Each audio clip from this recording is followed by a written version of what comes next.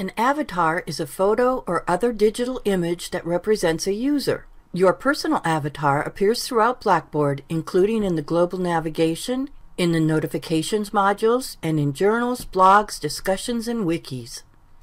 This tutorial explains how to add an avatar image and shows where it displays in the system. When you access your course for the first time, you will see the welcome overlay showing you where to access the global navigation menu. This screen only appears the first time you log in. Click the arrow next to your name to access the Global Navigation menu. In the Global Navigation menu, you can access Settings, your course list, and see your My Blackboard menu.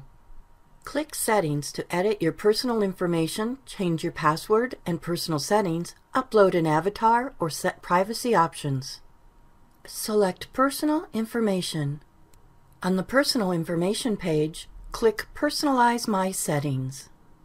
On the Personalize My Settings page, select the Use Custom Avatar Image option. There are no size restrictions for your image, but 150 pixels by 150 pixels displays correctly in all areas of the system. Very large images can be slow to load, so reducing the size is beneficial. You may only upload an avatar image from your computer. You cannot link to one that you have stored in course files or the content collection. Click Browse My Computer to locate the image.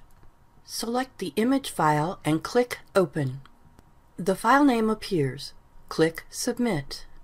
Your avatar image appears next to your name and in the notification modules such as What's New and Alerts. Your avatar appears in many other places throughout Blackboard. In discussions, in journals, in blogs, and in wikis.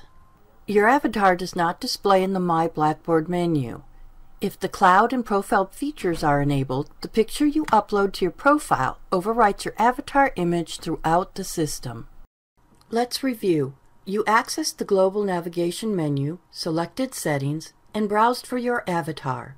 Your avatar appears throughout Blackboard.